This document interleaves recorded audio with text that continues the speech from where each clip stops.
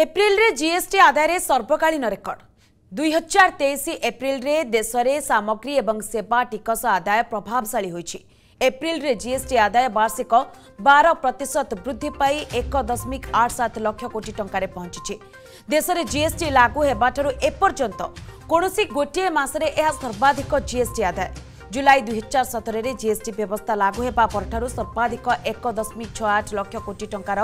GST ଆଦାୟ ହୋଇଥିଲା ଯାହାକି ଗତ ବର୍ଷ ଏପ୍ରିଲରେ କରାଯାଇଥିଲା ଅର୍ଥ ମନ୍ତ୍ରଣାଳୟ ସୋମବାର ଏପ୍ରିଲ ଦୁଇହଜାର ତେଇଶ ପାଇଁ ଟିକସ ସଂଗ୍ରହ ତଥ୍ୟ ଜାରି କରି କହିଛି ଯେ ଗତ ମାସରେ ମୋଟ ଜିଏସ୍ଟି ଆଦାୟ ଏକ ଲକ୍ଷ ସତାଅଶୀ ହଜାର ପଇଁତିରିଶ କୋଟି ଟଙ୍କା ଥିଲା ଏଥିରେ ଅଡ଼ତିରିଶ ହଜାର ଚାରିଶହ ଚାଳିଶ କୋଟି ଟଙ୍କାର କେନ୍ଦ୍ରୀୟ ଜିଏସ୍ଟି ସତଚାଳିଶ ହଜାର ଚାରିଶହ ବାର କୋଟି ଟଙ୍କାର ରାଜ୍ୟ ଜିଏସ୍ଟି ଏବଂ ଅଣାନବେ ହଜାର ଶହେ ଅଠାବନ କୋଟି ଟଙ୍କାର ସମନ୍ୱିତ ଜିଏସ୍ଟି ସହ